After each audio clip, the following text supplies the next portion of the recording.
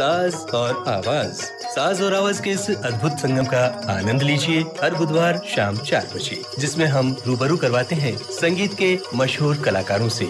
सुनते रहिए हर बुधवार शाम चार बजे, साज और आवाज़। साज और आवाज़ कार्यक्रम सुनने वाले सभी दोस्तों को आपके अपने दोस्त आनंद सिंह पवार का प्यार भरा नमस्कार। दोस्तों, बुधवार का दिन है और शाम के चार बज चुके हैं और हमारे आपका पसंदीदा कार्यक्रम साज और आवाज़ लेकर। जैसा कि दोस्तों आप सभी जानते हैं, इस कार्यक्रम के माध्यम से हम संगीत के जो हमारे यहाँ के कलाकार हैं, आकाशवाणी जयपुर के कलाकार हैं, जयपुर के कलाकार, राजस्थान के कलाकार और ग्रामीण ग्रामीण जो भी कलाकार हैं, उनसे आपको रूबरू करवाते रहते हैं। और इस कड़ी में आज भी हमारे साथ एक बहुत ही मशहूर कलाकार हैं, जिनका नाम आपने बिल्कुल सुना होगा, लेकिन नाम हम थोड़ी देर में बताएँगे। पहले उनके बारे में हम बात करना चाहेंगे।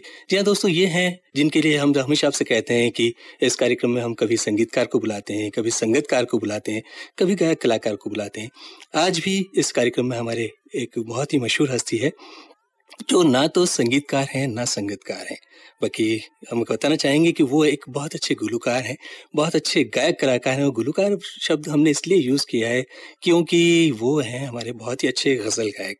जी हाँ दोस्तों, मोहम्मद वकील हमारे साथ आज इस स्टूडियो में आप सभी ने उनका नाम सुना होगा। बहुत ही मशहूर कलाकार हैं हमारे जयपुर आकाशवाणी के, जयपुर के, राजस्थान के और जहाँ तक उनके फन की हम बात करें तो उनका फन का जो जादू है, सिर्फ़ हमारे राज्य शहर, देश नहीं, यहाँ तक कि विदेशों में भी उनका जो जादू है, सर चढ़ करके श्रोताओं को बोलता है। बहुत ही अच्छे कलाकार हैं, बहुत ही खूबसूरत कलाकार हैं। जितने खूबसूरत गजलें वो खुद गाते हैं, उतनी ही खूबसूरत उनकी खुद की शख्सियत भी है। माशाल्लाह देखने में बहुत खूबसूरत हैं और दिल के तो अच्छे इंसान है ही। और बाकी जो चीज़ें हैं, जो हम कह रहे हैं, उनको आप खुद महसूस करेंगे जब वो माइक पे आएँगे। तो अब ज़्यादा हम समय नहीं लेना चाहेंगे। इंतज़ार की घड़ियाँ आपकी खत्म करते हैं और रूबरू होते हैं मोहम्मद वकील से। मोहम्मद वकील साहब, नमस्कार कार्यक्रम साज और आवाज़ में आपका स्वागत है। बहुत बहुत शुक्रिया कि आपने इतने खूबसूरत प्रोग्राम साज और आवाज़ में मुझे याद किया। इस प्रोग्राम को जितने लोग सुन रहे हैं, उन सभी को मेरा बहुत बहुत नमस्कार। इस शेर के साथ कि तुम जो आए, तुम महकने लगी सारी महफिल।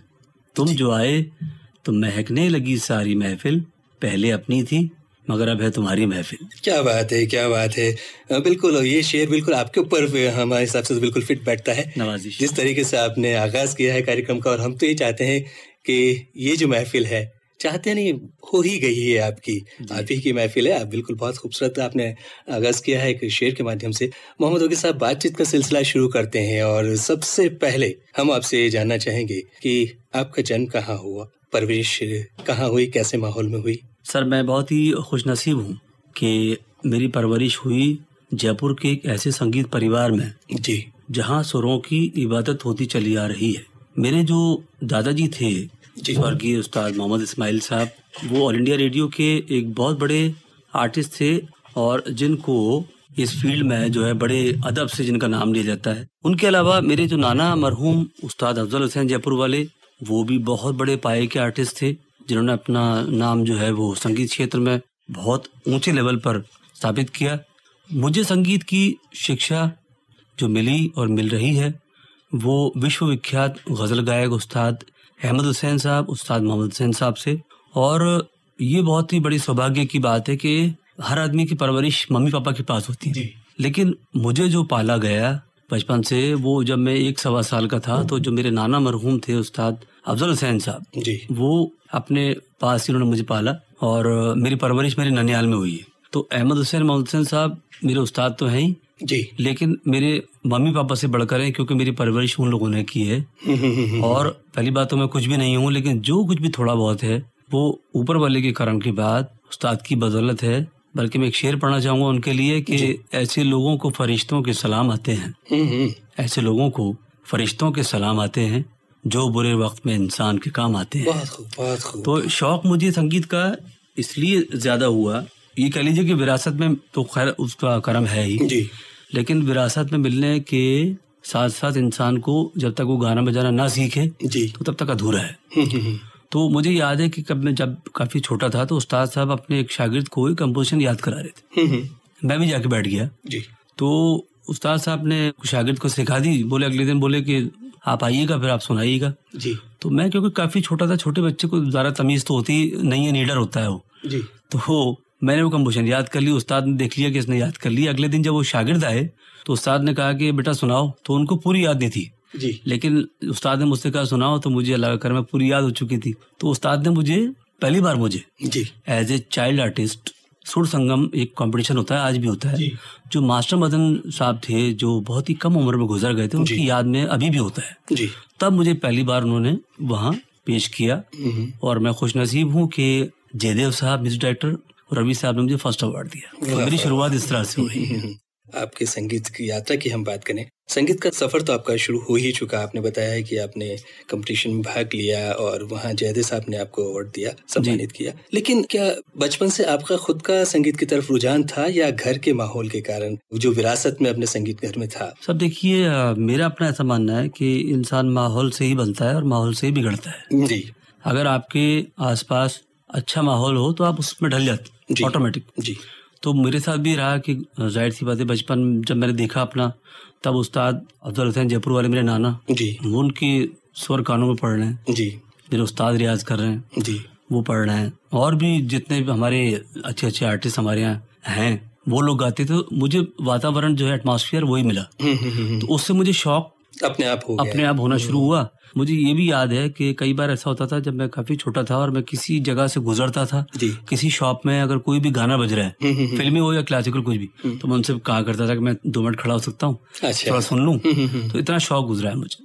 और अभी भी मुझे इतना शौक है कि मैं संगीत के बगैर कुछ नहीं हूँ। आपकी जो तालीम हुई विधिवत तालीम संगीत की। जी। हमने कहीं सुना है कि आपने जो संगीत की तालीम ली है वो गुरु शिष्य परंपरा के अंतर्गत आपने बेशक ली है। बेशक बेशक। तो आपके गुरु कौन रहे घर के तो घर आपके वालिद तो थे ही पिता का तो माहौल था ही। नाना का भी आपने ज़िक्र किया है। उसके अलावा? नहीं मैंने जैसा आपसे अर्ज़ किया कि ननियाल में परवरिश हुई तो मेरे गुरु उस्ताद अहमद हुसैन मोहम्मद हुसैन साहब ही हैं। उनके अलावा मैंने आज तक किसी सीखा नहीं है। हम्म, हम्म, उन्हीं से कोशिश करता हूँ मैं आज भी सीखने की। और ये है कि अगर आपको अच्छे गुरु मिल जाए जी। तो इंसान की तकदीर बदल जाती है। बहुत सही कह रहे हैं। एक पत्थर की भी तकदीर बदल सकती है। हम्म, शर्त यह है कि सलीके से तराशा जाए। हाँ क्या बात है बहुत सही।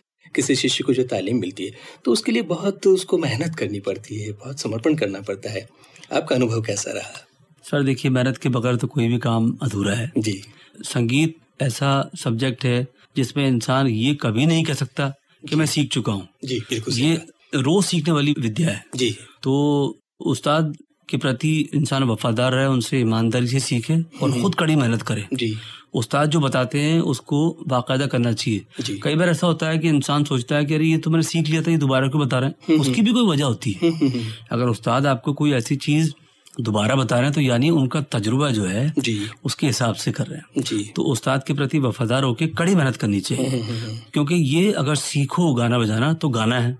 ना सीखो तो गा ना आहा, क्या बात है बहुत अच्छी इसलिए तरीके से समझाया म्यूज़िक जो है वो सीखने वाली चीज़ है हमेशा हम्म, हम्म। अ, मोहम्मद वकील साहब बातचीत करते हुए बड़ा आनंद आ रहा है आपसे बात करने में लेकिन हम जो कार्यक्रम लेकर के यहाँ बैठे हैं सास और आवाज़ तो हमारे श्रोता इस कार्यक्रम में आपकी आवाज़ के साथ साथ थोड़ा सा संगीत का लुत्फ भी लेना चाहते हैं जी। एक कोई रचना आपकी पसंद की जो हमारे श्रोताओं को हम सुनवा पाए सर रचनाएँ तो बहुत सारी पसंद है मगर क्योंकि मैं मोहम्मद रफ़ी साहब का बहुत बड़ा फ़ैन हूँ तो उनका गाया हुआ एक गज़ल नुमा गीत है चौदवी का चाँद हो या आफ्ताब हो। जी। जो भी हो तुम खुदा की कसम लाजवाब। लाजवाब हो बहुत ही खूबसूरत। पहले ये रचना सुनते हैं फिर बातचीत का सिलसिला हम जारी रखेंगे। चौदवी का चाँद हो या आफताब हो जो भी हो तुम खुदा की कसम, लाजवाब हो। चौदवी का चाँद हो, या हो। जो भी हो तुम खुदा की कसम, लाजवाब हो। चौदवी का चाँद हो।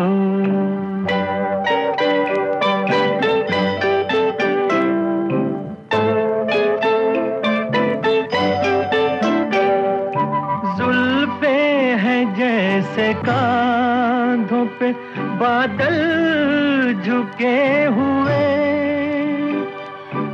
आँखें हैं जैसे मैं के प्याले। भरे हुए। मस्ती है जिसमें प्यार की तुम वो शराब हो। चौदवी का चाँद हो।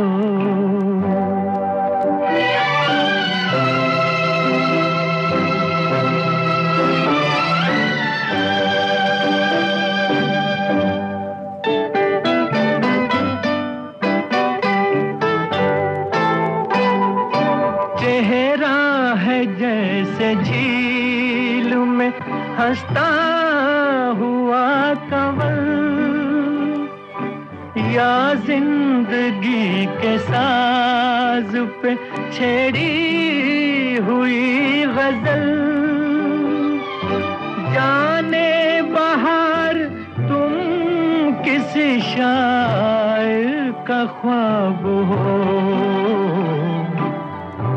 चौदवी का चाँद हो।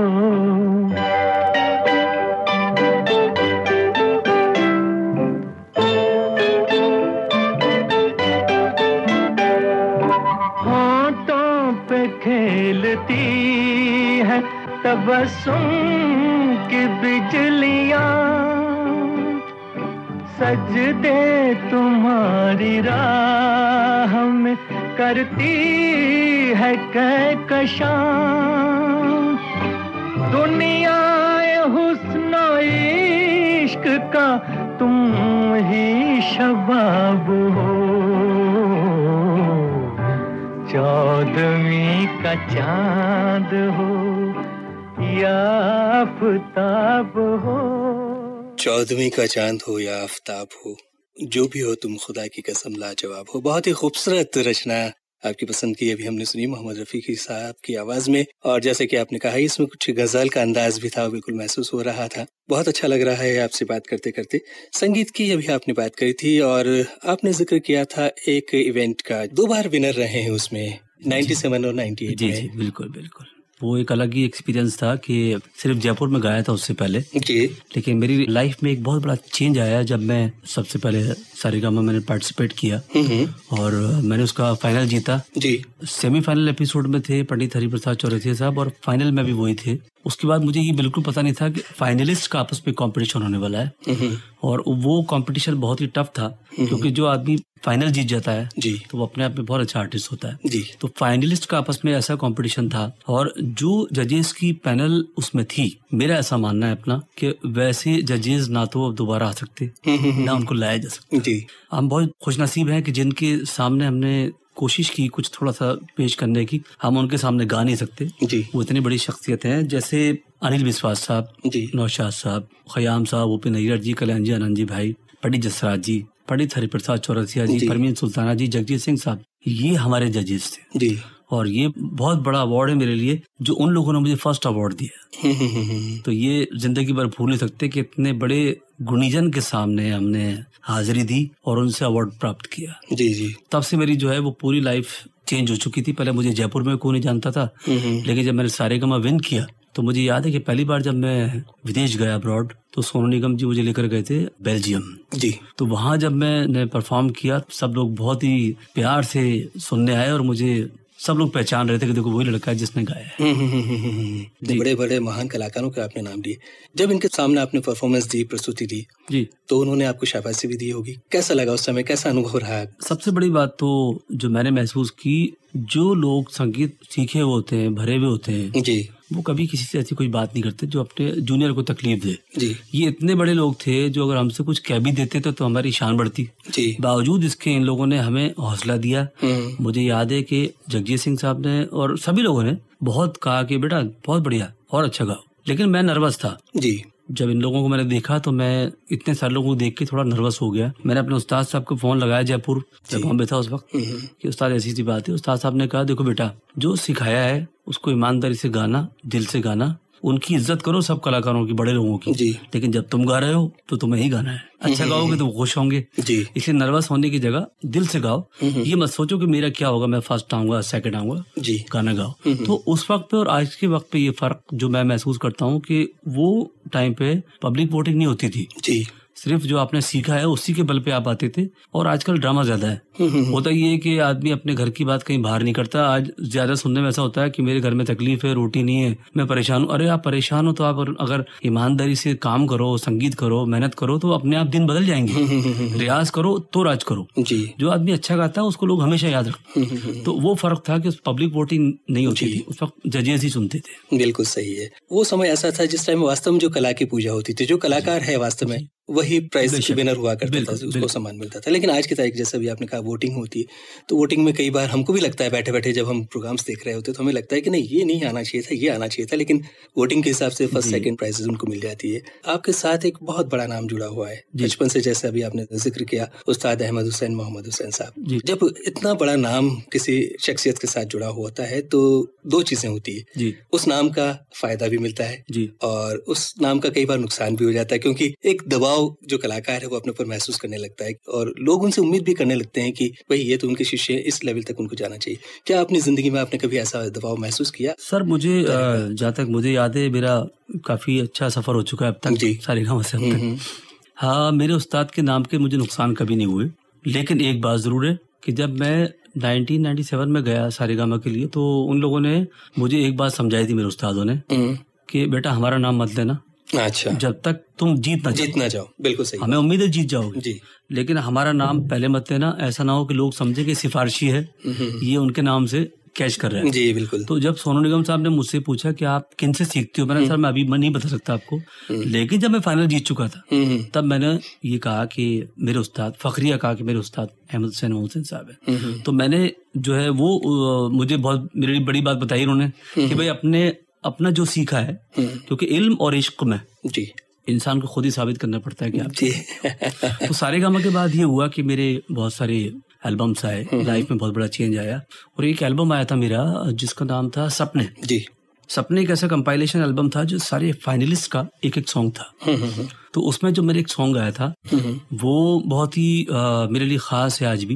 क्योंकि निदा फाजली साहब ने उसको लिखा था अनुज कप्पू साहब ने उसको कंपोज किया था और उस गाने के ज़रिए उस गीत के ज़रिए जो एक पैगाम था वो था मोहब्बत का भाईचारे का। हम्म, हम्म, हमारे जयपुर के बहुत अच्छे शायर हैं इकराम राजस्थानी साहब उनका कथा याद आता है मुझे कि हाथों में गीता रखेंगे सीनों में कुरान रखेंगे मेल बढ़ाए जो आपस में वही धर्म ईमान रखेंगे। शंख बजे भाईचारे का अमन की एक अजान रखेंगे।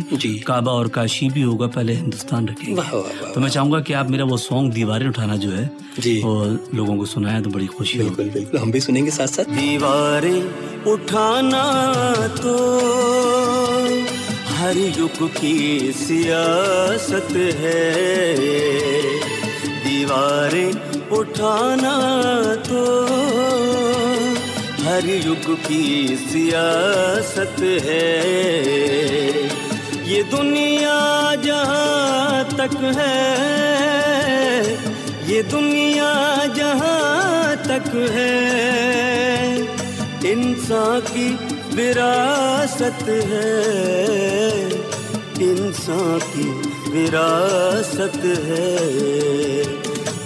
दीवारें उठाना तो हर युग की सियासत है।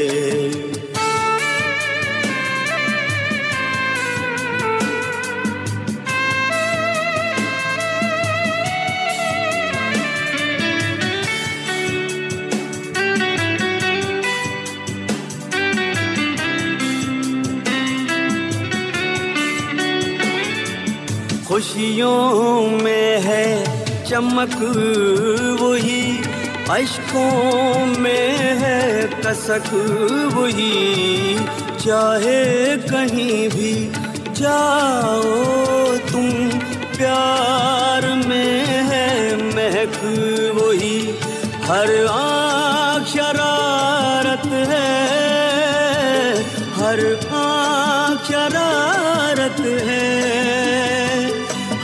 दिल में मोहब्बत है। हर दिल में मोहब्बत है। दीवारें उठाना तो हर युग की सियासत है।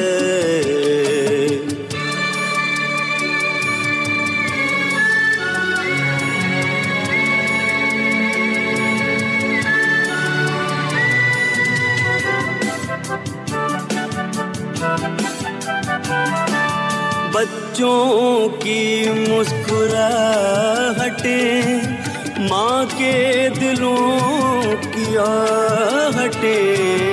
एक सी है हर एक जगह, चेहरों की जगमगाहटे मैं तेरी ज़रूरत हूँ, मैं तेरी ज़रूरत हूँ। मेरी ज़रूरत है। तू मेरी ज़रूरत है।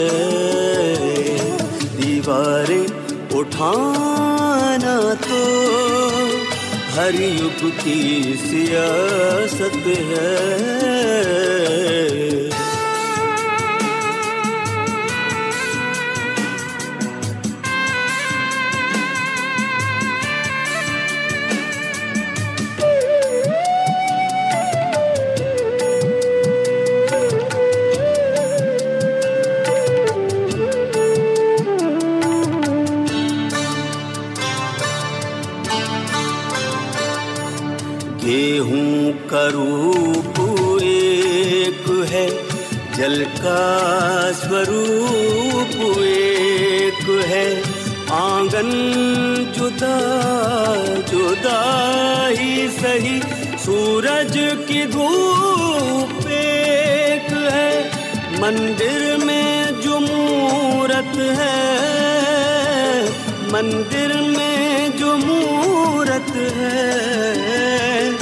मस्जिद में वो कुदरत है।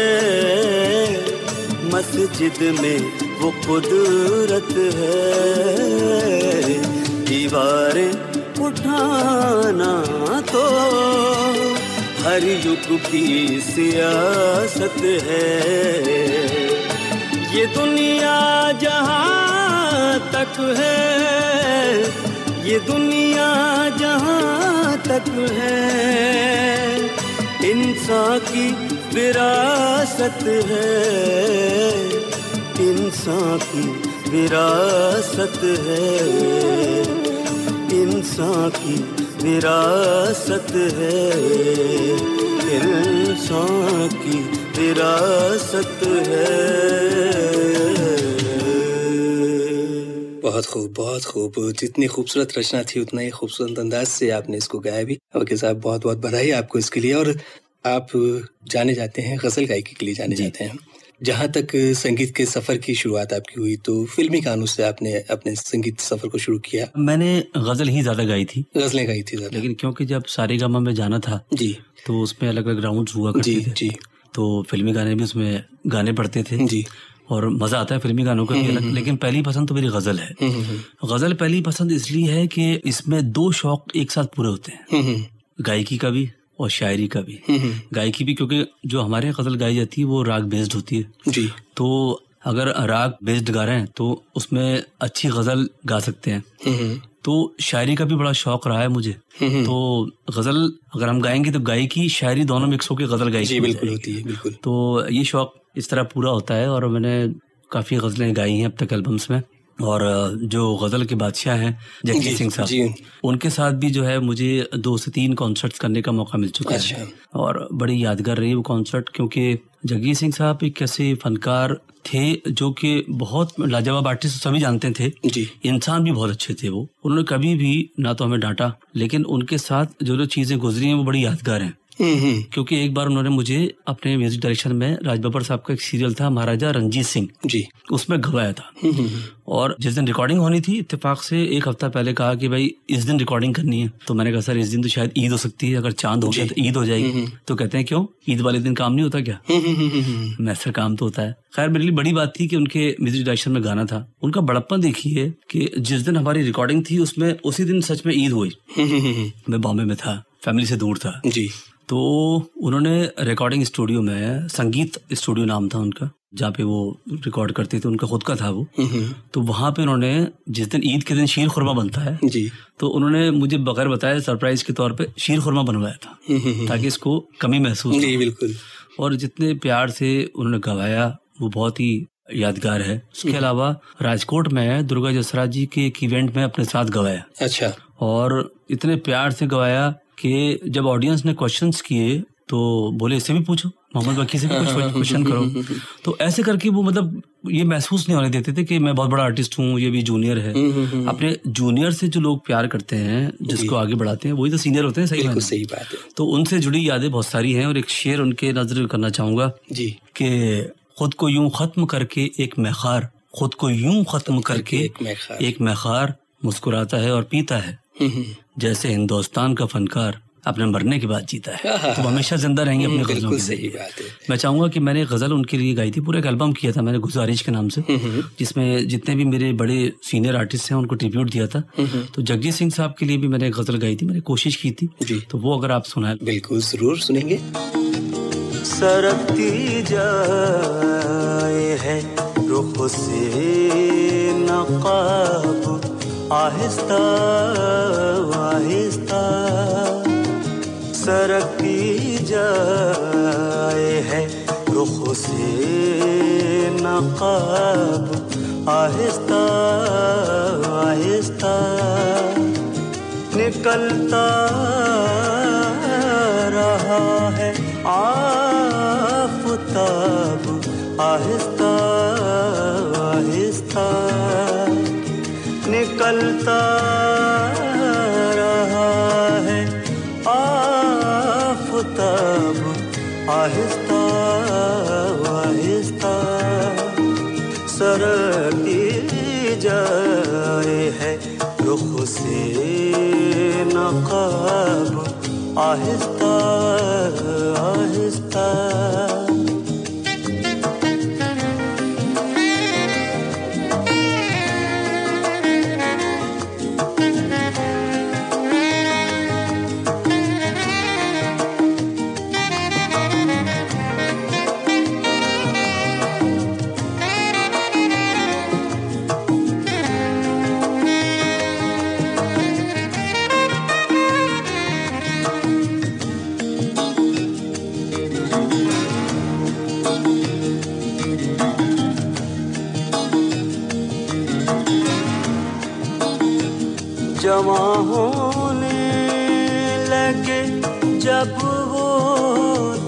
हमसे कर लिया पर्दा। जमा होने लगे जब वो तो हमसे कर लिया पर्दा। भया यकलख्त आई और शबाब, आहिस्ता आहिस्ता। हया यकलख्त आई और शबाब, आहिस्ता आहिस्ता निकलता रहा है आफताब, आहिस्ता आहिस्ता सरकती जाए है, रुख से नकाब आहिस्ता आहिस्ता।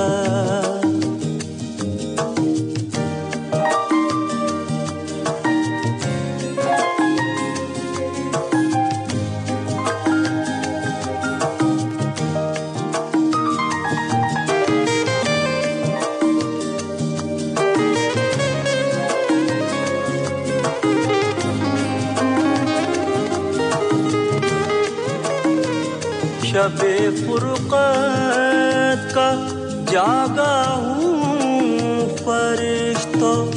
अब तो सोने दो। शबे फुरकत का जागा हूँ फरिश्तो। अब तो सोने दो। कभी फुर्सत में कर लेना हिसाब। आहिस्ता आहिस्ता। कभी फुर्सत में कर लेना हिसाब आहिस्ता आहिस्ता। निकलता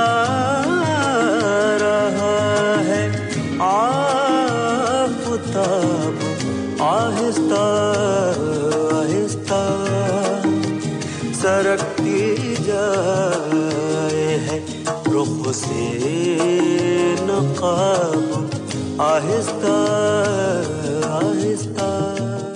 सरकती जाए है रुख से नकाब आहिस्ता आहिस्ता। बहुत ही खूबसूरत गज़ल है और हम भी जब छोटे थे तब से इस गज़ल को सुनते। हुए आ रहे हैं और बहुत अच्छा लगा इस गज़ल को सुन करके। आपके बहुत सारे एल्बम निकले हैं। जी। कितने के एल्बम निकाले हैं अभी तक आपने? आ, मेरे दस से ग्यारह एल्बम्स आ चुके हैं। सपने जिसका आपने जी। सुनाया सॉन्ग उसके बाद पहला सोलो एल्बम था मेरा कसक। जी। वो फ़र्स्ट सोलो एल्बम था जिसकी गज़ल बहुत ही मकबूल हुई। हम्म, हम्म, लोगों को आज भी याद है। फिर उसके बाद कह दो कह दो तेरा ख्याल गुजारिश मौला का दरबार फलसफा और पहली नज़र ऐसे करके हम तुम साथ हैं। जी। तो ये एल्बम्स मेरे अब तक रिलीज़ हो चुके हैं। लेकिन जो गज़ल थी मेरी पहली सोलो एल्बम ये कसक दिल के दिल में चुभी रह गई। हम्म, ज़िंदगी में तुम्हारी कमी रह गई। ये गज़ल बहुत ही मकबूल हुई। हम्म, हम्म। तो ये गज़ल मेरे दिल के बड़ा नज़दीक है। तो हम सुनना चाहेंगे आपके जो दिल के नज़दीक है। हम चाहते हैं हमारे श्रोताओं को भी तो पता चले कि आपके दिल के नज़दीक क्या है। ज़रूर सर ज़रूर।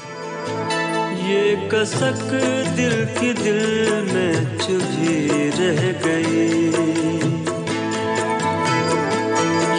कसक दिल की दिल में चुभी रह गई। ज़िंदगी में तुम्हारी कमी रह गई। ये कसक दिल की दिल में चुभी रह गई। ये कसक दिल की दिल में चुभी रह गई। ज़िंदगी में तुम्हारी कमी रह गई। ये कसक दिल की दिल में चुभी रह गई।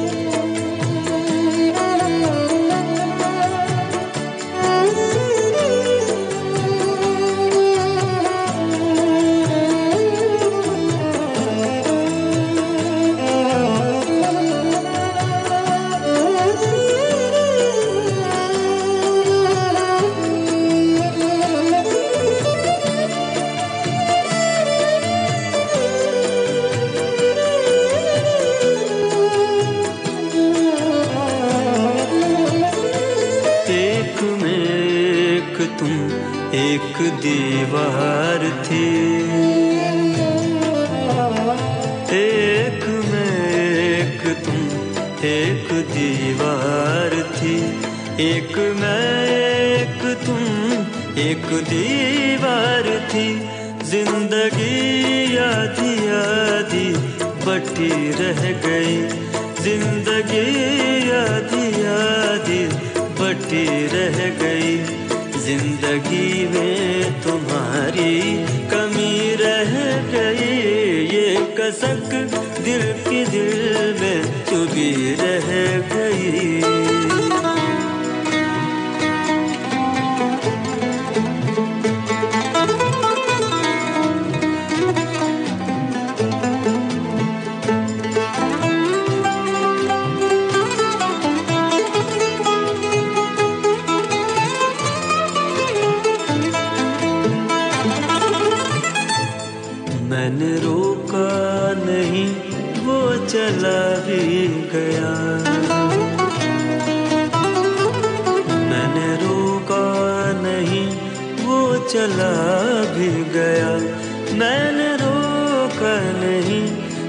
चला भी गया, बेबसी दूर तक देखती रह गई।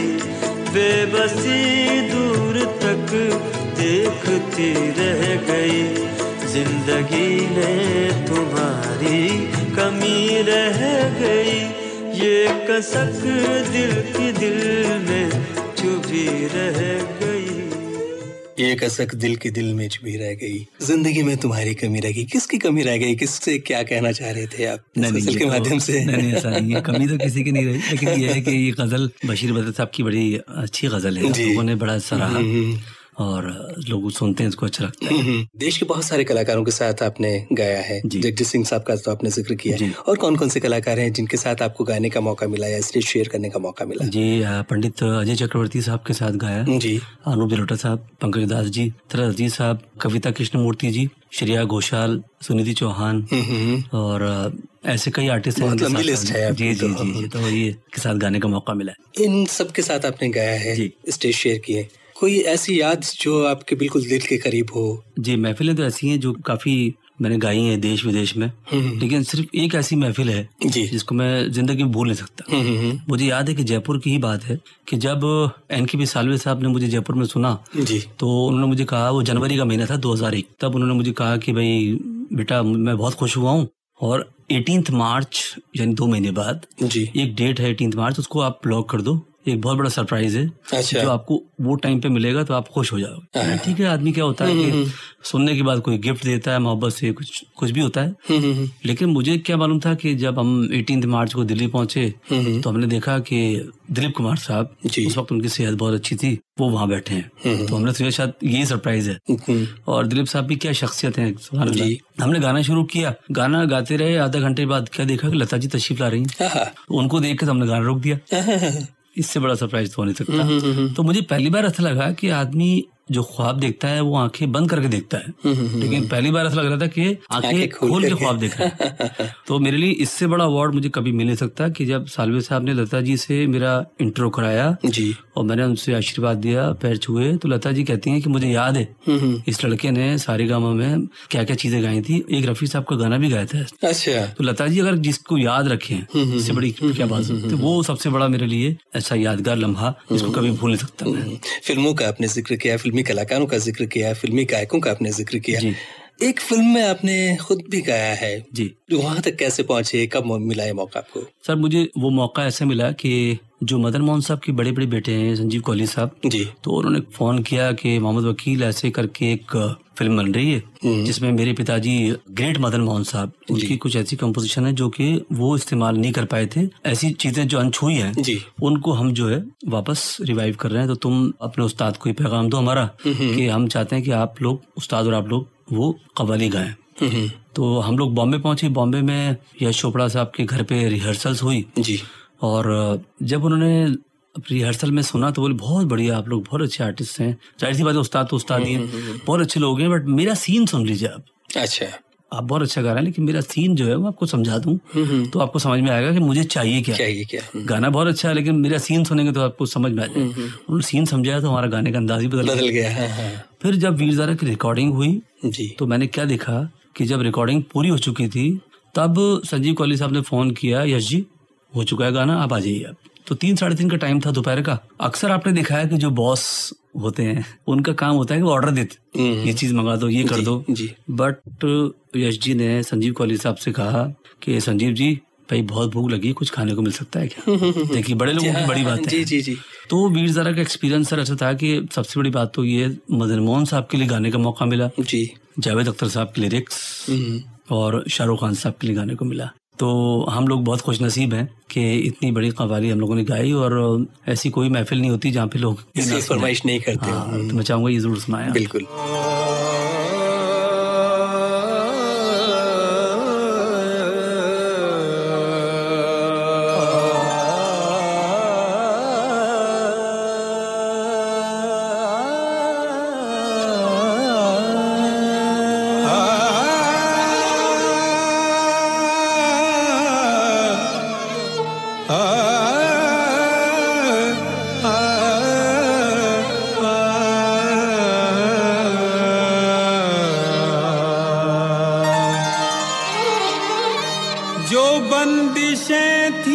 जमाने की तोड़ आया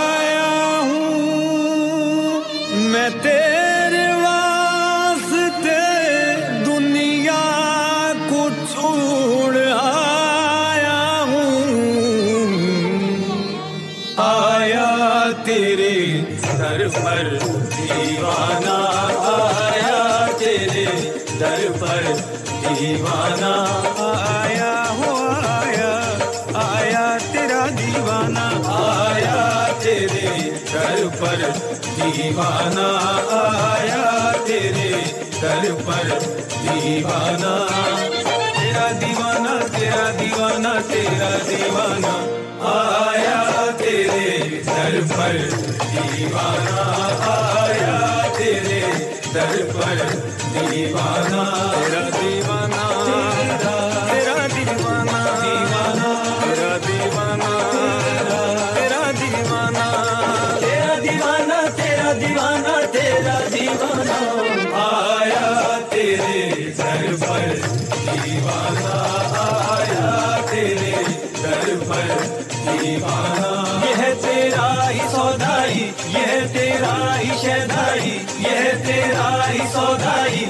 तेरा ही शहदाई तेरे इश्क में से मर जाना आया, तेरे दर पर दीवाना आया, तेरे दर पर दीवाना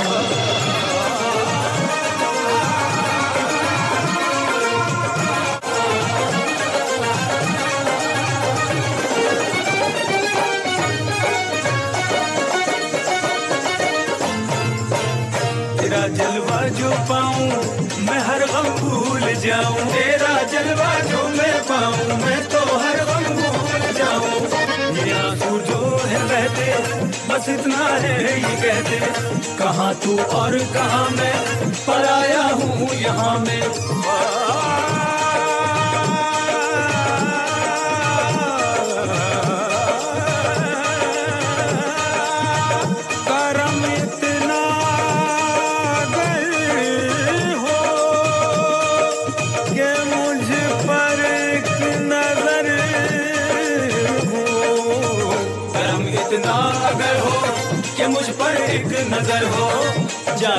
दिलवार दूँ मैं ज़िंदगी हार दूँ मैं जैसे शम्मा पे मरता है परवाना आया तेरे सर पर। बहुत खूबसूरत आया तेरे दर पर दीवाना। बहुत ही खूबसूरत। अच्छा तो है इसको निरंतर सुनने की लेकिन घड़ी की जो समय सीमा है उसमें आप और हम सब बंधे हुए जी। गजलों का भी आपने ज़िक्र किया। गजलें तो आप खैर गाते ही हैं गीत भी आपने गाए हैं। इनके अलावा कोई और शैली भी आपने पसंद करी है? जी सबसे पहले तो मैंने आपसे कहा ना गजलों के अलावा मुझे बॉलीवुड की जो रफ़ी साहब के नगमे हैं वो काफ़ी लोग सुनते हैं मैं गाता हूँ। और उसके अलावा सूफियाना कलाम भी मैंने गाया है। हम्म। एक मेरा पूरा एल्बम था मौला का दरबार। जी। जिसमें मैंने बहुत सारे सूफी नगमे गाए थे।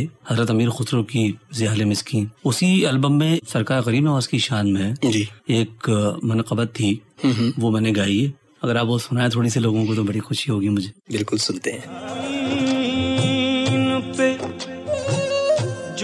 अपना सर झुकाते हैं। नसीब उनके बुलंदी पे पाए जाते हैं।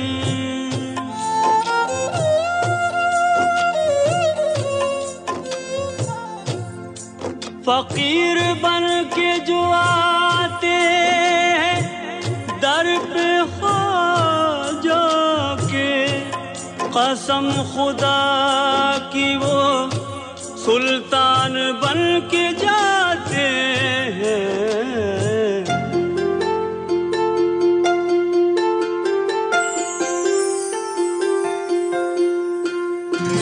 आन फंसी है मझधार में नैया।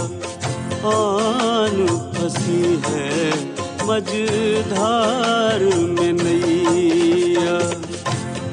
तुम बिन ख्वाजा मोरा, कौन खिवैया? तुम बिन ख्वाजा मोरा, कौन खिवैया? आन फंसी है, मझधार में नैया।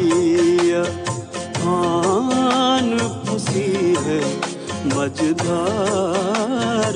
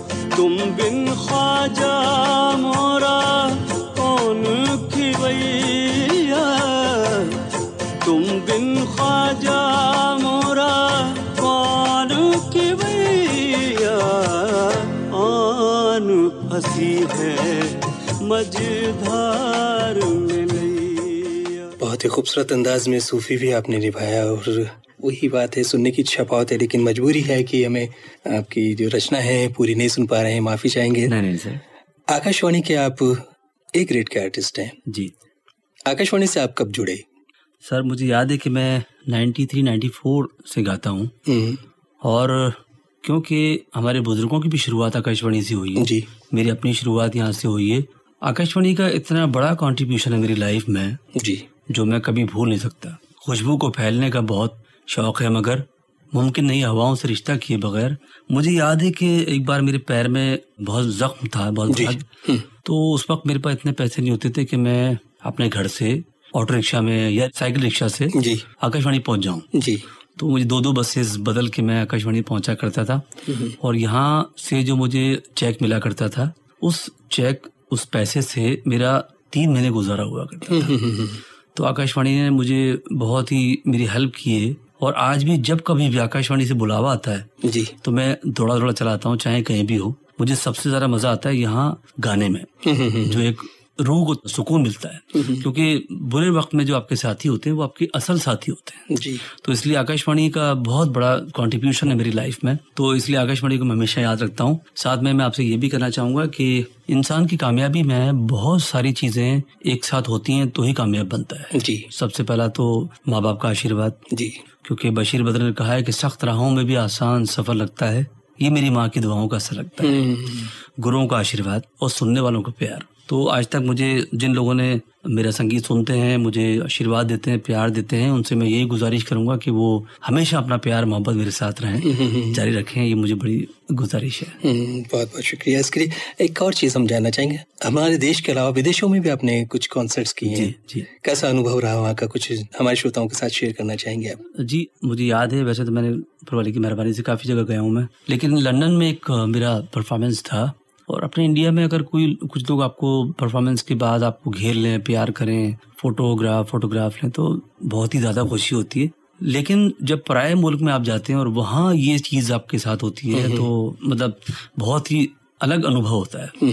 और लंदन में मेरा कॉन्सर्ट था तो वहाँ लोगों ने मुझे छोड़ा नहीं। बहुत देर तक मैं गाया बहुत देर तक सुना बहुत प्यार मिला। तो उस रात को मुझे जो है वो खुशी से नींद नहीं आई थी। अच्छा खुशी के कारण नींद नहीं आई बिल्कुल सही बात है। पारिवारिक विरासत को आप निभाते चले आ रहे हैं। आपकी बात आपके परिवार में इस लाइन में कोई है? ये छठी पीढ़ी जिसमें हम लोग गा रहे हैं लेकिन मुझे खुशी है कि जो मेरे बेटे हैं वो भी छोटे हैं अभी लेकिन वो भी अभी संगीत सीख रहे हैं विधिवत। तो ये सिलसिला जो है इंशाल्लाह जारी जारी। है और रहना भी चाहिए। और मैं ये भी आपसे कहना चाहूँगा कि देखिए एक ज़िंदगी में माँ बाप का बहुत बड़ा रोल है। माँ के लिए सभी लोग लिखते हैं और बड़ा माँ का योगदान भी बड़ा है। लेकिन पिता की जो कुर्बानियाँ होती हैं जैसे उसके सेक्रीफाइसेस होते हैं उसको लोग थोड़ा सा कम ध्यान देते हैं। जी। तो मैंने कोशिश ये की कि शकील आजमी साहब से एक नज्म लिखवाई जी। जो पिता के लिए है। जितने भी दुनिया के जितने भी पिता हैं जी। उनको वो समर्पित है। और वो नज्म लोगों ने काफ़ी पसंद की है। कितनी मुश्किल से मेरे बाप ने पाला मुझको। अपने हिस्से का खिलाया है निवाला मुझको। तो मैं चाहता हूँ कि जाते जाते आप वो नज्म मेरी ज़रूर सुनवाएँ। बिल्कुल सुनते हैं। कितनी मुश्किल से मेरे बाप ने पाला मुझको। कितनी मुश्किल से मेरे बाप ने पाला मुझको। अपने हिस्से का खिलाया निवाला मुझको अपने हिस्से का खिलाया है। निवाला मुझको कितनी मुश्किल से मेरे बाप ने पाला। अपने हिस्से का खिलाया निवाला मुझको। ये बिल्कुल हकीकत है। हर इंसान की हकीकत है। बहुत ही खूबसूरत रचना है। बिल्कुल दिल को छूने वाली रचना है। मोहम्मद वकील साहब समय की सीमा में हम सब बंधे हैं। चलते चलते एक संदेश हमारे सभी श्रोताओं के लिए आपकी तरफ़ से। संदेश मेरा यही है जो मेरे म्यूज़िक करने वाले भाई हैं संगीत करने वाले आर्टिस्ट जो हैं जो अभी इस फ़ील्ड में आ रहे हैं जी। कि आप प्लीज़ ईमानदारी से अपने गुरु से सीखिए। कड़ी मेहनत कीजिए रियाज कीजिए। तो आपका नाम अपने आप हो जाएगा। नाम पर ध्यान मत दीजिए काम पर ध्यान दीजिए। और जो सुनने वाले हैं उनसे ये गुजारिश है जो संगीत को प्यार करते हैं कि आप प्लीज़ अपना प्यार मोहब्बत हौसला अफजाई हमारे साथ बनाए रखिए। क्योंकि एक शेर है कि ना पूछो दर्दमंदों की दुआ की।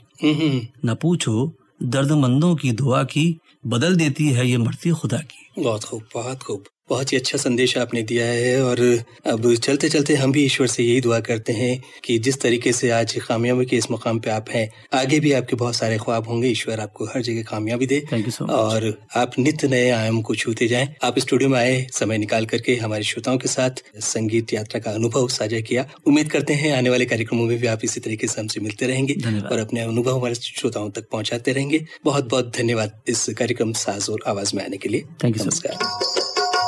साज और आवाज़। साज और आवाज़ के इस अद्भुत संगम का आनंद लीजिए हर बुधवार शाम चार बजे, जिसमें हम रूबरू करवाते हैं संगीत के मशहूर कलाकारों से।